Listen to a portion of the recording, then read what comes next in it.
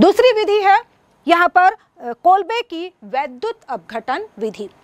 इस विधि को भी हमने कक्षा ग्यारहवीं में पढ़ा हुआ है। तो यहाँ पर हम लेंगे कि फिर से जो कार्बोक्सिलिक अम्ल के सोडियम साल्ट का जली विलियन हम इसमें लेते हैं। और आप जानते हैं, जब हम यहाँ पर वैद्युत अपघटन करते हैं तो हम एक कंटेनर लेंगे, जिसमें हम कार्बोक्सिलिक अम्ल का सोडियम साल्ट का जली विलियन लेंगे, और इसमें दो इलेक्ट्रोड लगा होगा। एक इलेक्ट्रोड का संबंध हम बैटरी के धन ध्रुव से करेंगे, जो कि एनोड कहलाएगा। दूसरे इलेक्ट्रोड का संबंध हम बैटरी के ऋण ध्रुव से करेंगे, जो कि कैथोड कहलाएगा। और हम जानते हैं कि जो एनोड होगा, उस पर ऑक्सीडेशन की क्रिया होगी। जबकि कैथोड पर रिडक्शन की क्रिया होगी। अब यहाँ पर हम देखें कि जो हमारा सॉल्यूशन बना है, उसमें चार आयन हैं। एक तो है यहाँ पर C S three C O O minus यानी कि कार्बोक्सिलेट आयन दूसरा, इससे अलग हुआ है sodium ion N A plus इसी तरह से जल के वियोजन से हमें मिल रहा है एक H प्लस आयन तथा दूसरा है ओ OH माइनस आयन अब यहाँ पर हम दें कि जो एनोड है, पॉजिटिव चार्ज है और हमारे पास यहाँ पर कार्बोक्सिलेट आयन तथा हाइड्रोक्सिल आयन दोनों पर नेगेटिव चार्ज है और जो एनोड है, उस पर ऑक्सीडेशन की क्रिया होगी। तो यहाँ पर हम देखें दोनों के कंपेयर में जो कार्बोक्सिलेट आयन होगा, उसका ऑक्सीडेशन पोटेंशियल ज़्यादा है, यानी कि उसका रिडक्शन पोटेंशियल कम है, इसलिए जो कार्बोक्सिलेट आयन है, इसका ऑक्सीडेशन होगा। और ऑक्सीडेशन का मतलब होता है इलेक्ट्रॉन का निष्काशन तो यहाँ पर आप देखें कि जो यहाँ पर कार्बोक्सिलेट आयन होगा, और यहाँ पर हम बता दें कि इसमें हम दो कार्बोक्सिलेट जो साल्ट होगा, यहाँ पर कार्बोक्सिलिक अम्ल का सोडियम साल्ट होगा, उसके दो यूनिट का यहाँ पर उपयोग होता है। तो यहाँ पर हम लें कि जो कार्बोक्सिलेट आयन है, इसमें से जो इसके पास जो ऑक्सीजन है उस पर, क्योंकि इस पर माइनस चार्ज है, वैसे भी ऑक्सीजन पर दो लोन पेयर तो होते ही हैं क्योंकि यहाँ पर माइनस चार्ज है तो इसके पास छः तीन लोन पेयर हैं, यानी कि छः इलेक्ट्रॉन हैं। अब प्रत्येक कार्बोक्सिलेट आयन एक इलेक्ट्रॉन क्योंकि यहाँ पर ऑक्सीडेशन हो रहा है, इसलिए एक इलेक्ट्रॉन का ये निष्काशन करेगा। और इस तरह से दो कार्बोक्सिलेट आयन से दो इलेक्ट्रॉन यहाँ पर निष्कासित होंगे। और इस तरह से जो अब स्पीसीज हमारे पास बचेगी वहाँ पर होगा R C double bond O और ओ और जिस ऑक्सीजन के पास अब यहाँ पर सिर्फ़ पाँच इलेक्ट्रॉन हैं, क्योंकि प्रत्येक ने एक एक इलेक्ट्रॉन का निष्काशन कर दिया है। तो इस तरह से अब ये जो संरचना बन रही है बड़ी अस्थाई संरचना होगी और चूँकि यहाँ पर कार्बन है है ना? तो कार्बन को इलेक्ट्रॉन चाहिए। और इसलिए क्योंकि उसे कार्बन ऑक्सीजन के बीच यहाँ पर बंध का निर्माण करना है, इसकी वजह से अब कार्बन जो एल्किल समूह होगा, यानी कि कार्बन कार्बन के बंध को यहाँ पर तोड़ना होगा और यहाँ पर ये जब बंध टूटेगा तो दोनों ही जो कार्बोक्सलेट आयन वाला कार्बन है वो, तथा जो एल्किल समूह वाला कार्बन है वो, दोनों ही एक एक इलेक्ट्रॉन लेकर यहाँ पर अलग हो जाएँगे। और यहाँ पर आप देख रहे हैं कि हमें जो फ्री रेडिकल प्राप्त होगा। तो यहाँ पर दो फ्री रेडिकल मिलेंगे। साथ ही साथ यहाँ पर अब जैसे ही कार्बन को एक सिंगल इलेक्ट्रॉन मिलेगा, वो ऑक्सीजन के पास उपस्थित जो सिंगल इलेक्ट्रॉन है, उसके साथ मिलकर यहाँ पर कार्बन ऑक्सीजन के बीच द्विबंध का निर्माण कर लेगा। और इस तरह से यहाँ पर हम देखें कि ये जो कार्बन डाइऑक्साइड है, वह पृथक हो जाएगी। साथ ही साथ हमें दो मिथाइल मूलक यहाँ पर फ्री रेडिकल प्राप्त होंगे और हम जानते हैं कि दोनों फ्री रेडिकल हैं, दोनों के पास एक एक सिंगल इलेक्ट्रॉन है तो दोनों आपस में मिलकर बंध बना लेंगे और इस तरह से हमें C S three single bond C S three यानी कि एथेन प्राप्त होगा। तो इस संरचना में हम देख रहे हैं कि जो कोलबे का वैद्युत अपघटन है, उस सरच में हम देख रहे हैं कि एनोड पर हमें एक अधिक संख्या वाले जितना कार्बन हमने लिया है जो एल्काइल समूह में उपस्थित था, उससे एक अधिक कार्बन वाले हमें एल्केन प्राप्त होते हैं। साथ ही साथ अब हम देखें जो कैथोड है कैथोड पर रिडक्शन की क्रिया होगी। तो यहाँ पर हम देखें कि दो आयन हमारे पास है पॉजिटिव आयन Na प्लस और OH माइनस तो यहाँ पर जो सोडियम आयन है, उसके कंपेयर में hydrogen ion hydrogen H plus ion का जो रिडक्शन पोटेंशियल है, वो ज़्यादा होता है। इसलिए इसका ही रिडक्शन होगा। यह कैथोड पर जाकर जो कार्बोक्सिलेट आयन के द्वारा दो इलेक्ट्रॉन निकाले गए हैं, उन्हें ग्रहण करेगा और दोनों ही H प्लस आयन इलेक्ट्रॉन लेकर यहाँ पर H2 के रूप में हाइड्रोजन गैस के रूप में निष्कासित हो जाएँगे। अब इसके बाद जो अंत में जो हमारा सॉल्यूशन है, विलियन है, वहाँ पर हमारे पास बचा होगा सोडियम आयन Na प्लस तथा hydroxyl ion O OH minus अब दोनों मिलकर यहाँ पर सोडियम हाइड्रोक्साइड का निर्माण करेंगे। तो इस तरह से हम देखें कि वी कार्बोक्सिलेशन की क्रिया, जो कि कोलबे के वैद्युत अपघटन के द्वारा जब हम करते हैं तो हमें जो कार्बोक्सिलिक अम्ल के एल्किल समूह में जितने कार्बन होते हैं, उससे दुगनी संख्या वाले कार्बन वाले हमें एल्केन प्राप्त होते हैं। तो इस विधि के द्वारा हम कार्बोक्सिलिक अम्लों से हाइड्रोकार्बन भी प्राप्त कर सकते हैं। अब हम कार्बोक्सिलिक अम्लों की चौथे प्रकार की अभिक्रियाओं को जानेंगे। यानी कि उन अभिक्रियाओं को जिनमें कार्बोक्सिलिक समूह से जुड़े हुए जो एल्किल या एरिल समूह होते हैं उनमें प्रतिस्थापन अभिक्रिया होती है। तो इन अभिक्रियाओं में सबसे महत्वपूर्ण अभिक्रिया है, जिसे हम नेमिंग अभिक्रिया के रूप में जानते हैं, और ये है हेल वोलार्ड जेलिंस्की रिएक्शन, जिसे हम शॉर्ट में एच वी जेड रिएक्शन कहते हैं। इस रिएक्शन के द्वारा हमें बहुत ही महत्वपूर्ण कंपाउंड, यानी कि अल्फ़ा हेलो कार्बोक्सिलिक अम्ल प्राप्त होते हैं। इस अभिक्रिया में जब हम, या हम कहें कि ये अभिक्रिया वास्तव में हेलोजिनेशन की अभिक्रिया है, लेकिन यहाँ पर जो हेलोजिनेशन होता है, वो जो एल्किल समूह है, उसमें होता है। तो यहाँ पर हम देखें, जब हम कोई भी कार्बोक्सिलिक अम्ल लेंगे, जैसे कि यहाँ पर हम एथेनोइक एसिड ले रहे हैं, जब इसकी क्रिया, हम लाल फास्फोरस की उपस्थिति में क्लोरीन या ब्रोमीन से करवाते हैं। तो ऐसी स्थिति में हमें अल्फ़ा हेलो कार्बोक्सिलिक अम्ल प्राप्त होते हैं। जैसे कि यदि हम यहाँ पर एथेनोइक एसिड लेते हैं और ये इसकी क्रिया जब हम लाल फॉस्फोरस की उपस्थिति में क्लोरीन से कराएँगे तो यहाँ पर जो अल्फ़ा हाइड्रोजन उपस्थित है, यहाँ पर हमें मिलेगा C C L three C O O H यानी कि अल्फ़ा हेलो कार्बोक्सिलिक अम्ल प्राप्त होते हैं। आप समझ ही गए होंगे कि यहाँ पर जो प्रतिस्थापित हो रहा है, जो हाइड्रोजन वो अल्फ़ा हाइड्रोजन है। अब अल्फ़ा हाइड्रोजन किसे कहते हैं? हम जानते हैं कि किसी भी क्रियात्मक समूह से जुड़ा हुआ जो पहला कार्बन होता है, उसे हम अल्फ़ा कार्बन कहते हैं। और अल्फ़ा कार्बन से जुड़े हुए जो हाइड्रोजन होते हैं, वो अल्फ़ा हाइड्रोजन कहलाते हैं। यानी कि ये अभिक्रिया उन्हीं कार्बोक्सिलिक अम्लों में होगी, जिनमें कि अल्फ़ा हाइड्रोजन उपस्थित होंगे और जिसके फलस्वरूप हमें अल्फ़ा हेलो कार्बोक्सिलिक अम्ल प्राप्त होंगे। और इस अभिक्रिया को हम कहते हैं हेल वोलार्ड जेलिंस्की रिएक्शन, जिसे हम एच वी जेड रिएक्शन कहते हैं। ये काफ़ी महत्वपूर्ण अभिक्रिया है। आइए, अब हम इसकी क्रियाविधि समझते हैं। इसकी क्रियाविधि में हम देखेंगे कि यहाँ पर हमने लिया है एक अल्फ़ा हाइड्रोजन युक्त carboxylic acid R C H two C double bond O O H अब यहाँ पर जब हम इसकी क्रिया लाल फास्फोरस की उपस्थिति में क्लोरीन से कराते हैं तो हम पहले ही बता दें कि यहाँ पर जो लाल फास्फोरस है वो क्लोरीन के साथ मिलकर यहाँ पर पी सी एल थ्री का निर्माण करता है। और हम जानते हैं कि जो पी सी एल थ्री है, जब हमने इसकी अभिक्रिया कार्बोक्सिलिक अम्ल से कराई थी तो यहाँ पर कार्बोक्सिलिक अम्ल का जो हाइड्रोक्सिल समूह है, वह हेलोजन समूह के द्वारा रिप्लेस होता है। तो यहाँ पर हम देखें कि ये जो कार्बोक्सिलिक समूह है उसका ओ OH समूह जब हम यहाँ पर पी सी एल थ्री से कराएँगे तो यह सी एल समूह के द्वारा रिप्लेस हो जाएगा।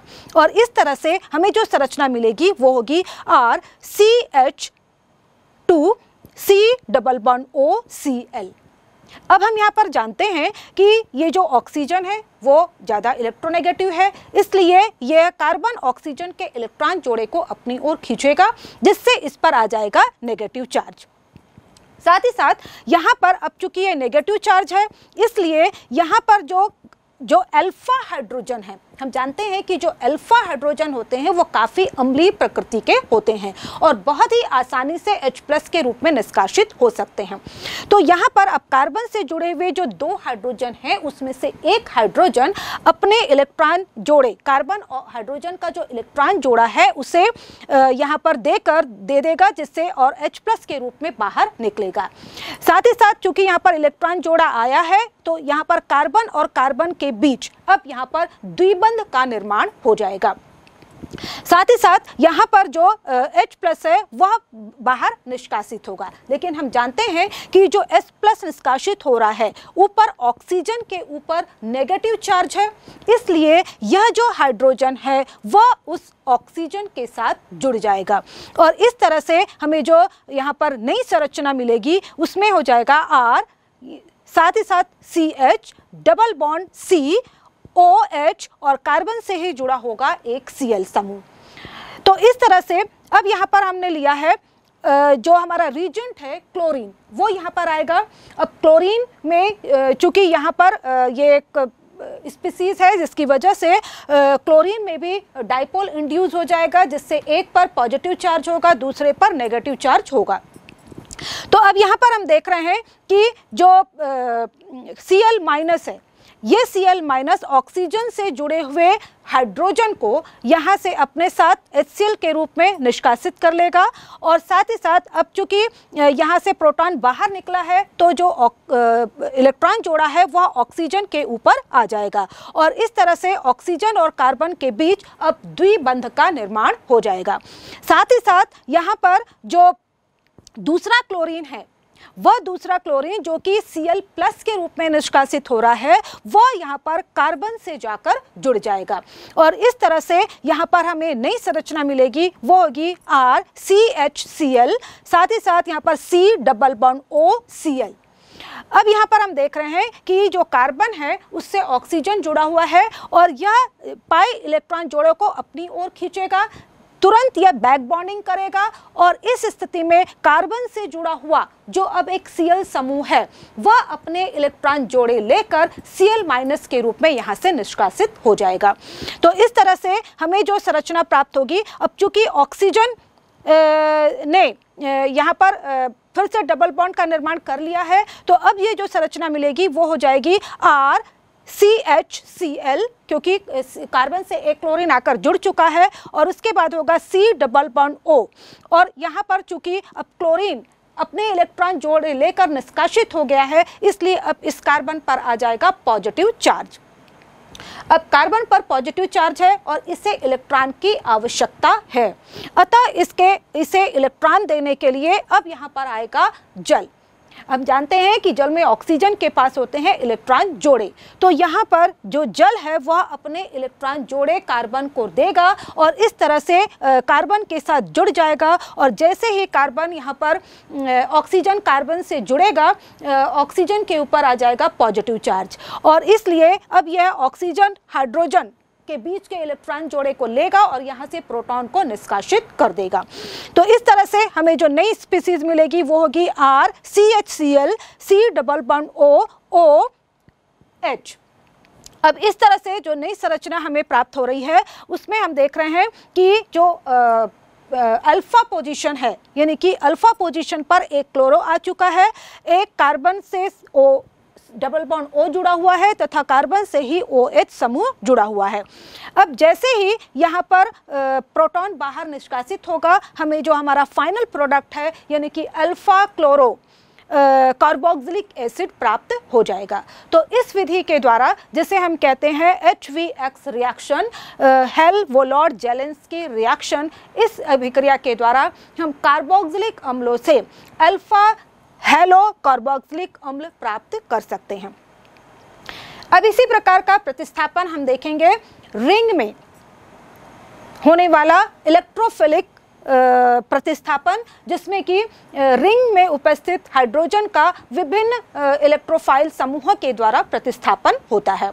और इस अभिक्रिया को हम कई बार जान चुके हैं। हम जानते हैं कि जो बेंजिन रिंग होती है, उसमें इलेक्ट्रॉन रागी प्रतिस्थापन अभिक्रिया होती है, जिसमें कि रिंग में उपस्थित हाइड्रोजन इलेक्ट्रॉन रागी समूहों, जैसे कि नाइट्रोनियम आयन NO2 प्लस या फिर क्लोरो के द्वारा या फिर सल्फोनिल समूह के द्वारा प्रतिस्थापित हो जाता है।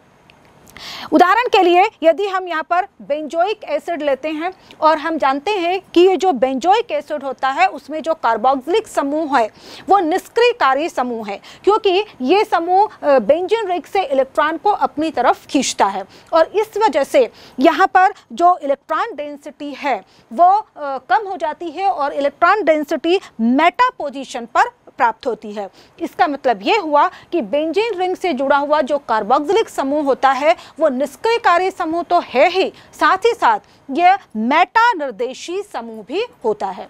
और इस तरह से जब हम कार्बोक्सिलिक अम्ल यहाँ पर हम ले रहे हैं, बेंजोइक एसिड, जब हम इसकी क्रिया किसी नाइट्रीफाइंग एजेंट यानी कि सांद्र सल्फ्यूरिक एसिड और सांद्र नाइट्रिक एसिड के साथ कराएँगे तो हमें एक इलेक्ट्रोफाइल प्राप्त होता है, वो होता है NO2 प्लस और चूँकि ये इस पर पॉजिटिव चार्ज है और जो बेंजन रिंग है उसके मेटा पोजीशन पर नेगेटिव चार्ज इलेक्ट्रॉन घनत्व ज़्यादा है, इसलिए ये जाकर मेटा पोजीशन पर प्रतिस्थापित हो जाता है।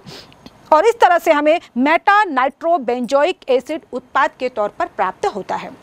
इसी तरह से हम इसकी क्रिया जब ब्रोमीन से कराते हैं, ब्रोमिनेशन करेंगे और जब हम बेंजोइक एसिड का ब्रोमिनेशन करेंगे और यहाँ पर हम एफ़ थ्री की उपस्थिति में ये अभिक्रिया कराते हैं तो यहाँ पर भी जो ब्रोमीन है वह इसका विघटन होगा और बी आर प्लस इलेक्ट्रोफाइल तैयार होगा। ये B R plus electrophile benzene ring के मेटापोजिशन पर जाकर जो कार्बोक्सिलिक समूह है, उसके अगेंस्ट मेटा पोजीशन पर जाकर प्रतिस्थापित हो जाएगा।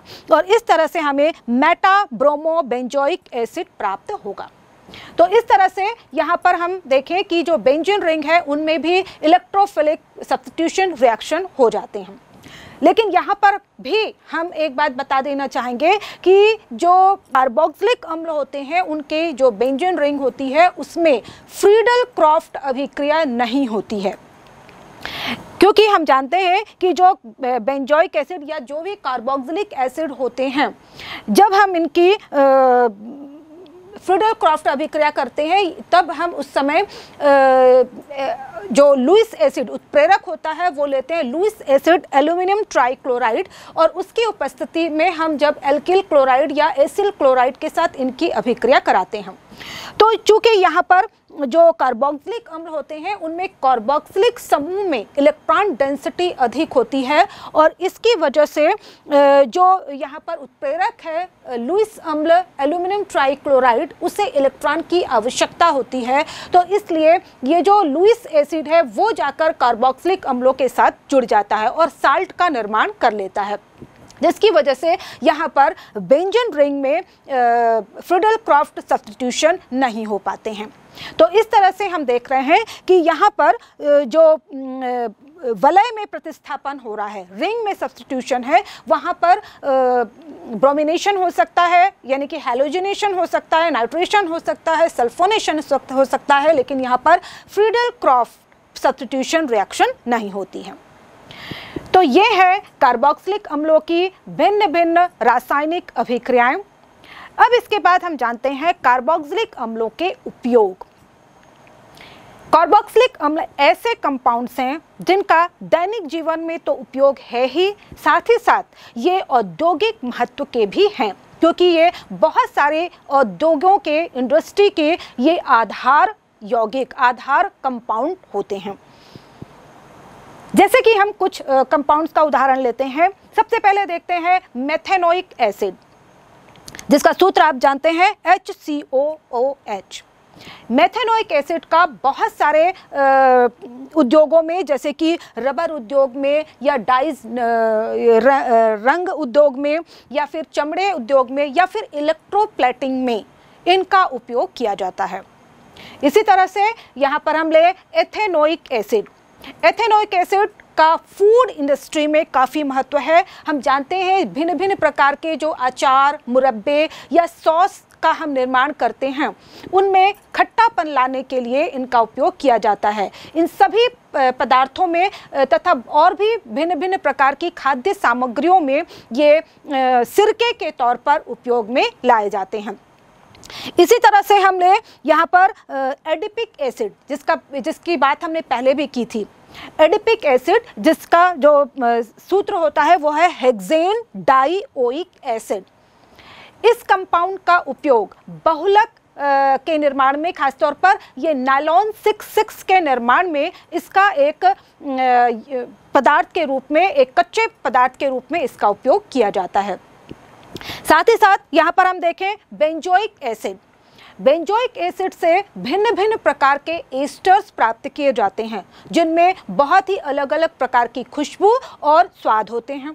और इसीलिए इनका उपयोग परफ्यूम इंडस्ट्री में किया जाता है। इसके अलावा हम देखें कि यहाँ पर सोडियम बेंजोएट सोडियम बेंजोएट एक बहुत ही अच्छा परिरक्षक है। ऐसे बहुत से खाद्य पदार्थ खासकर जो लंबे समय तक उपयोग किए जाते हैं, जैसे कि अचार, मुरब्बे या सॉस, जिन्हें लंबे समय तक सुरक्षित रखने के लिए इनमें प्रिजर्वेटिव के तौर पर, परिरक्षक के तौर पर सोडियम बेंजोएट मिलाया जाता है। इसी तरह से हमने कि साबुन निर्माण साबुन निर्माण के लिए जो कार्बोक्सिलिक अम्ल होते हैं, वो साबुन इंडस्ट्री या हम कहें जो परिमार्जक इंडस्ट्री है, उसका आधार है। क्योंकि हम जानते हैं, जो साबुन होते हैं, वो लंबी श्रृंखला वाले कार्बोक्सिलिक अम्लों के सोडियम या पोटेशियम साल्ट होते हैं। इसी तरह से जो अपमार्जक होते हैं, वो होते हैं लंबी कार्बन श्रृंखला वाले सल्फेट सॉल्ट तो इस तरह से हम देखें, जैसे कि साबुन में हम ले सकते हैं यहाँ पर सोडियम स्टियोरेट, जिसमें कि सेवनटीन कार्बन वाले ये कार्बोक्सिलिक अम्लों का उपयोग किया जाता है। इसी तरह से यदि हम यहाँ पर अपमार्जक का उदाहरण लें तो हम ले सकते हैं सोडियम लॉरिल सल्फेट। तो इस तरह से हम देखें कि जो साबुन और अपमार्जक उद्योग है, सोप इंडस्ट्री है, उसका प्रमुख आधार होते हैं कार्बोक्सिलिक अम्ल।